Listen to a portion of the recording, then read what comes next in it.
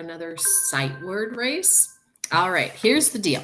These cards today, there's not as many of them. And these cards are from the reading groups that are the deer. So there's a couple words that the deer know.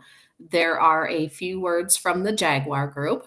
And then the rest of the words will be able to be read or should be read by the cheetahs, the kittens, the dogs, and the giraffes. So your child should remember which reading group they're in anybody can do this sight word challenge because there's a lot of those sight words out there that even though I haven't introduced them, your child will be able to read. If your child does not know some of these words as you're going through, maybe you can help jot them down off to the side and then you can always go back and practice them later. Now, the way we learn new words in kindergarten, if it's a sight word, is we look at the word and then I tell them what the word is. So this is the word come. And then we spell it. C O M E and read it again. Come. Then we try to use it in a sentence so that kind of helps stick it up in the brain a little bit more. So that we might say, Will you come over here, please? And then we go back and we read it and spell it and read it two more times. So it would look like this Come. C O M E. Come. Let's do it again. Come. C O M E, come.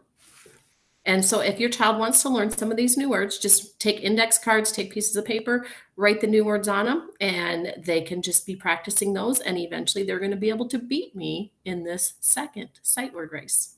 All right, kids, are you ready? Here we go. Like. Said do. Home. Have. It's a toughie of some. So out her, his, says, say, come.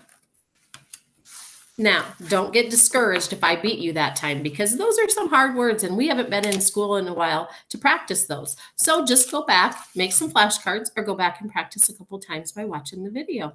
And then hopefully you'll be able to beat me some more or go back and do the first sight word race. All right, have fun reading. Talk to you later.